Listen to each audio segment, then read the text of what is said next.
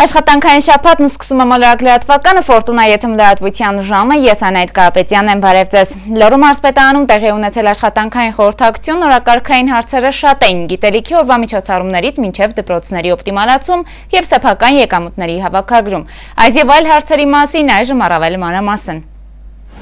Աշխատանքային խորհրդակցությունը վարում է փողմարզպետ Արսեն Դարփինյանն, ով օրակարգային հարցերը ներկայացնելուց հետո զեկույցի հնարավորություն է տալիս աշխատակազմի ղեկավարին։ Վերջինս նախորդ շաբաթվա ընթացքում կատարված աշխատանքների մասին է խոսում։ Դեկտեմբերի 1-ին սոցիալապես անապահով ընտանիքներին օգնություն տրամադրելու խնդիրներ, մենք մեր գործընկերների հետ արդեն իսկ բանակցել ենք եւ հիմնականում World Vision միջազգային կազմակերպության կողմից տրվել է երկրություն։ Նոր ուսումնական տարվա մեկնարկը միջոցառումներով եւ պատշաճ կազմակերպվածությամբ տրվել է մարզի բոլոր դպրոցներում։ Դպրոցների կոմպլեկտավորման եւ նոր ուսումնական տարվա աշխատանքների մասին խոսեց Լոռու մարզպետանի կրթության, մշակույթի եւ սպորտի վարչության պետը, ով զեկուցեց, որ 2017-2018 ուսումնական տարում մարզում առաջին դասանցիների թիվը 3247 է։ Առաջինցիների թիվը նախորդ տարվա համեմատությամբ ավելացել է 24-ով, իսկ ընդհանուր աշակերտների թիվը մարզում ավելացել է 800-ով։ Անցյալ տարի մենք ունեցել ենք 26435, այս տարվա նախնականով 27235 թիվն է։ Ինչ վերաբերում է Վանաձորի 26-րդ դպրոցի հնարավոր օպտիմալացմանը, Սայդյանի փոխանցմամբ կառավարության որոշումը դեռևս չկա։ Կառավարության որոշումը մենք հստակ բնականաբար երկար չի լինելու, որ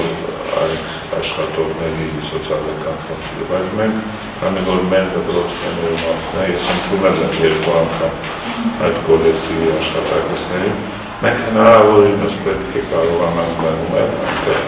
աշխատանքից զրկված ուսուցիչների հարցը։ Մեղմասելով Սայդյանը մանրամասնում են նկատի ունի այն, որ եթե այլ դպրոցներում լինեն թափուր աշխատատեղեր, տնօրեններին կուղորթեն աշխատանքից դուրս մնացած ուսուցիչներին ընդգրկել։ Կուղորթեն, քանի որ նման դեպքերում նրանք աշխատանքի են անցնելու մրցույթի միջոցով։ Այլ տարբերակի շուրջ եւս մտքեր կան։ Մարզի գյուղական դպրոցներում 165 մասնագետի պակաս կա։ Նրանց կառաջարկվի նաեւ այս տարբերակը, բայց մինչ այդ սպասում են կառավարության որոշմանը։ Օրակարգում հաջորդ հարցը համայնքներում սեփական եկամուտների հավաքագրմանն է վերաբերում զեկուցող Ռայր Պապոյանը նշում է, որ հավաքագրվել է 1 միլիարդ 63 միլիոն 846 հազար դրամ։ Այսինքն պլանը թեր է կատարվել 94 միլիոն 518 հազար դրամի չափով, սակայն նախորդ տարվա նույն ժամանակահատվածի համեմատությամբ փաստացի աճը կազմել է 7.9% կամ ավել է հավաքագրվել 77 միլիոն 829 հազար 800 դրամ։ Սա հիմնական պայմանավորված է նրանով, որ կառավարության հորդորների ձեռնելով այս տարի ավելի հավակնոտ բյուջեն է կողմից։ Պապոյանը ներկայացնում է նաև սեփական եկամուտների կատարողականի ամենացածր ցուցանիշներ ապահոված համայնքները։ Պետրովկա համայնքը ընդամենը 35.3%։ Ցածր հավաքագրում ունեն Սարչապետ, Նորաշեն, Զունաշող, Պալախպյուր, Արծենի, Պրիվոլնոյ, Լեջան եւ Թումանյան համայնքները։ Մինչև 80% կատարողական ունեն 26 համայնք, 80-500% կատարողական ունեն 41 համայնք եւ 100% ավելի կատարողական ունեն ընդամենը 31 համայնք։ Նշում նաև, որ միայն Վանաձոր քաղաքի կատարողականը նախորդ պլանի համեմատությամբ հետ է 30 միլիոն դրամ ֆոր մարտի վրա։ Մարզի քաղաքաշինական ծրագրերի զեկույցով խոսեց քաղաքաշինության վարչության պետը, ով նախանդրադարձավ հրատապ ծրագրերին, ըստ որի 32 շինարական կառույցից 17-ում աշխատանքները արդեն ավարտված են, իսկ մնացյալ 15-ում ավարտական փուլում։ 290 միլիոն 800 հազար դրամ տրված պետական միջոցները կուղվեն մարզկենտրոնի փողոցների վերանորոգման համար։ Հայտարարված մրցույթի տվյալները բաց է դարձել ուրբաթորը։ 11 լոտի մասնակցել է 10 շինարար, ուրեմն հաղթող ճանաչվել են 3-ը, այս ամեն ինչը նախնականը, որովհետև դուք գիտեք, դեպքի հարցում արվի հարկային տեսություն կարա բան փոխվի։ Այս բայ դրությամբ ասեմ 5 օբյեկտը շահել է հիդրոսՊ Սյունիքի մարզը, 3-ը շահել է Շինբլյուս ՍՊ Երևանից եւ 3 հատը Վարմաշը գրանցված է Վանաձորում, բայց էլի դրսի շինարարները։ Վարչությունը նախատեսում է շինարական աշխատանքի մեկնարկը տալ սեպտեմբերի 15-ից։ Աշխատանքային խորհրդակցությանը քննարկվեցին այլ հարցեր։ Անետ Կապետյան, Արեն Ավակյան, Մոլորակ։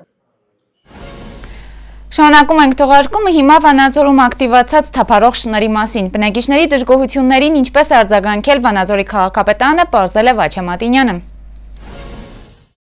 Վանաձորում վերջին շրջանում նկատվում է թափառող կենթանիների թվի աճ բնակիչներն հազանգում են, որ թափառող կենթանիները ոչ միայն շատացել են, այլ նաև անարգել շրջում են քաղաքի մարդաշատ վայրերում, ինչը վտանգավոր է անցորդների համար, հատկապես երեխաների։ Վանաձորի քաղաքապետարանի կոմունալ տնտեսության եւ բարեկարգման բաժնից տեղեկացին, որ տարեսկզբին մեծ թվով թափառող կենթանիներ են ոչնչացվել, որը ժամանակ խնդիրը կառավարելի էր։ Բազմացման շրջանից հետո, որը տևում է մոտ 6 ամիս, կենթանիների աճ արդեն նկատվում է։ Համապատասխան կազմակերպությունն էլ արդեն իսկ իրականացնում է կենթանիների վնասազերծումը։ Ցերեկվա ընթացքում մենք հաշվառում ենք որտեղ կա նկատում ենք գրանցումը մեր որ թաղամասում կան թափառող կենթանիներ, մենք հաղորդում ենք համապատասխան կազմակերպությանը, որ այս թաղամասում կա թափառող կենթանիներ, նրանք արդեն հաշվի առնելով մեր ցուցումները, բնականաբար քալի են ձեռնարկում, որպեսզի կենթանիներին վնասազերծեն։ Յուրաքանչյուր թափառող կենթանի վնասազերծելու համար համայնքապետարանը բյուջեով նախատեսել է 2000 դրամ։ Իրականացնող կազմակերպությունն էլ վնասազերծման աշխատանքներն իրականացնում է գիշերային ժամերին 23:00-ից մինչև առավոտյան 5-ը։ Արդաշատ վայրերում որևէ որսորդ, ասենք, հրացանից իրավունք չունի կրակելը, բայց գիշերվա ժամը 3-ին ստվում ասենք փողոցներում եւ բակերում մարդաշատ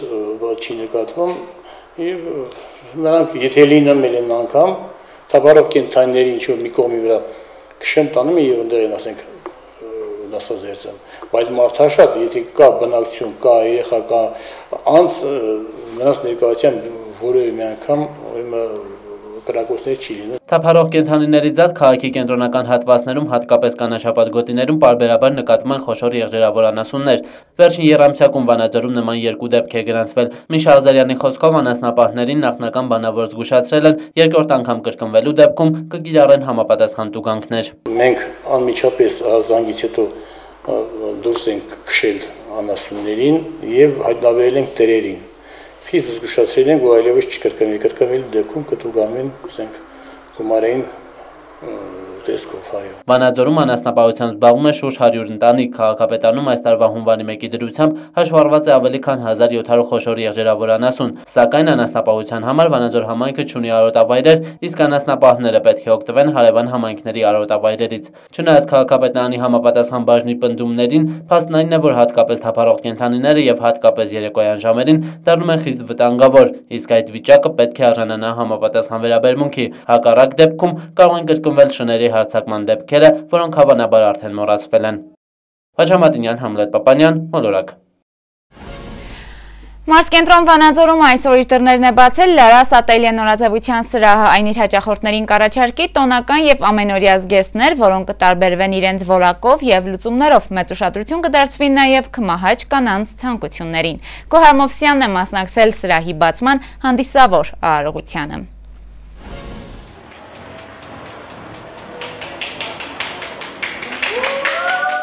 Այս տարվա սեպտեմբերի 4-ը առանձնահատուկ տեղ կգրավի Վանաձորցի Լարա Սիմոնյանի կենսագրության մեջ։ Ծննդյան 22-ամյա Հոբելյանի օրը Վանաձորցի այս աղջիկն իրականություն դարձրեց ամենանվիրական երազանքներից մեկը՝ Վանաձորի Միասնիկյան փողոցի վրա բացելով նորաձևության սրահ։ Ավարտելով հագուստի նախագծում եւ տեխնոլոգիա բաժինը Լարան ուսումը շարունակել է Մայրաքաղաքի Գեղարվեստի պետական ակադեմիայում, հագուստի մոդելավորում բաժնում։ Պատահական սկզբունքով ընտրված մասնագիտությունը կարճ ժամանակ անց դարձավ աղջկա ամենասիրելի հոբբին։ Պատահական չէ, որ ուսումնառության ընթացքում էլ սկսել է մասնագիտությամբ աշխատել։ Լարայի մասնագիտական կայացմանը նպաստել է նաև Երևանյան մի շարք նորաձևության սրահներում աշխատել է, ասում է շատ բան է սովորել տեղի փորձառու մասնագետներից։ Հիմնական գործունեություն ծավալել է տնային պայմաններում Վանաձորցի կանանց համար կարելով ինչպես տոնական, այնպես էլ ամենօրյա հագուստ։ Մոտ 2 տարվա աշխատանքային գործունեության ընթացքում բազմաթիվ հաճախորդների կողմից ստացել է խորհուրդ առաջարկ բացել նորաձևության կենտրոն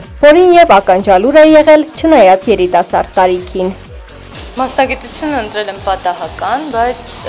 դա դարձել է հոբի, դարձել է իմ կենքի կարելի ասել իմաստը։ Մեծ սիրով եմ զբաղվում իմ գործով։ Վանաձորցի կանայք հիմնականում նախընտրում են էլեգանտ ոճի զգեստներ, նրանք մինիմալիստական ոճի մեջ եւ շատ մեծ ուշադրություն են դարձնում որակին։ Մեր նորաձևության սրահը իր դռներն է բացում ձեր առաջ։ Վստահ եմ, որ այն նոր շունչ եւ նոր գույներ պիտի հաղորդի մեր քաղաքին։ Մեր սրահի համար աշխատելու են քաղաքի լավագույն մասնագետները։ Փորձելու ենք ըստ հավուր պատշաճի բավարարել ձեր սպասումները։ Լարաս ատելյե նորաձևության սրահը կգործի արդեն վաղվանից այստեղ աշխատելու են հմուտ մասնագետներ, որոնք նոր շունչ կհաղորդեն Վանաձորյան նորաձևությանը։ Վստահեցնում են Լարան, հավելելով, որ սրահում են գործելու նաև իր երկու ընկերները, որոնք նույնպես նորաձևության ասպարեզում ունեն անցած ճանապարհ եւ կարող են ճաշակ թելադրել կերտելով Վանաձորյան աղջիկների ուրույն ոչն ու ինքնատիպ կերպարը։ Կարծում եմ ես իր ծննդյան օրերից ամենայուրահատուկն է, քանի որ կատարվեց իր երազանքը, երկար ժամանակ երազ մեր նման բանիմացին։ Հիմա ամենամեծ ուրախությունը այն է, որ սա մեր հարազատ Վանաձորում է կատարվում եւ կարծում եմ ինքը կբավարարի ցանկացած ճաշակի պահանջներ եւ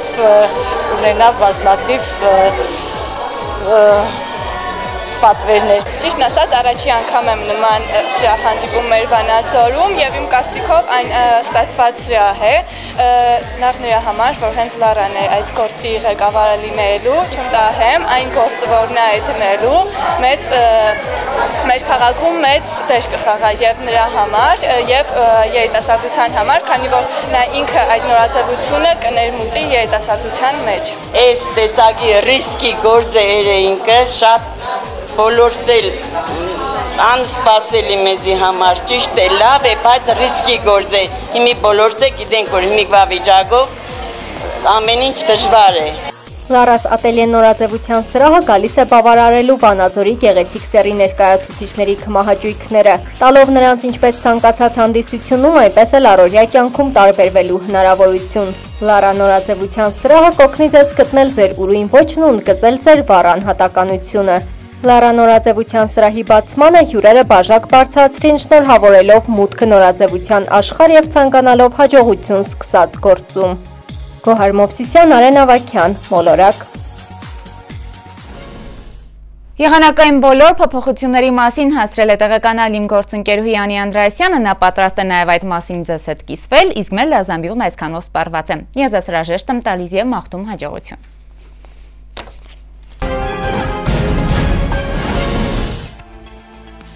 Եղանակի տեսության աջակիցներն են Eva Dent ստոմատոլոգիական կլինիկան, Plasma Electronics խանութ սրահը, Հայաստանի ազգային ագրարային համալսարանի Վանաձորի մասնաճյուղը։ Բարև ձեզ։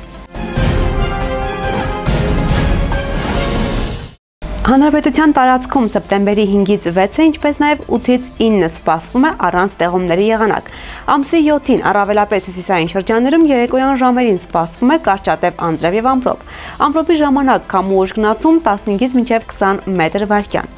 Օդի ջերմաստիճանը սեպտեմբերի 7-ից 8-ը կնվազի 3-ից 4 աստիճանով։ Հանրապետության տարածքում դեռևս շարունակում է պահպանվել բարձր կարգի հրդեհավտանգ իրավիճակը։ Լոռու մարզում նույնպես ամառը ոչ մի կերպ չի ուզում զիջել իր դիրքերը։ Բոլոր քաղաքներում սպասվում է արևային եւ տաք եղանակ։ Տաշիրում կանխատեսվում է 14-ից մինչև 28 աստիճան տաքություն։ Արավերդիում սպասվում է գիշերը 19, ցերեկը 32 աստիճան տաքություն։ Պիտակում ջերմաստիճանը կլինի 16-ից մինչև 32 աստիճան։ Ստեփանավանում կդիտվի գիշերը 14, ցերեկը 29 աստիճան տաքություն։ Վանաձորում կգրանցվի մարզում ամենաբարձր ջերմաստիճանը 18-ից մինչև 34 աստիճան։ Երևանում սեպտեմբերի 5-ին կանխատեսվում է գիշերը 18, ցերեկը 36 աստիճան տաքություն։ Կասպից լիճը մոտ ժամանակներս կարող է անհայտանալ։ Նման եզրակացության են եկել 2015 թվականին գրես Արբանյակի կալիբրացիայով զբաղվող գիտնականները։ Հետագա հետազոտությունները ցույց են տվել, որ առաջիկա 20 տարիների ընթացքում յուրաքանչյուր տարում ծովի մակարդակը կիջնի 7 սանտիմետր։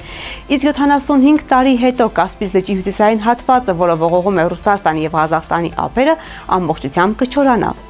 Աշխարհի ամենամեծ լճի փոքրանալու հարցում շատ մեծ է գլոբալ տաքացման գործոնը, ինչն էլ հանգեցնում է ինտենսիվ գոլորշիացման։ Եղանակի մասին այսօր այսքանը։ Ցտեսություն։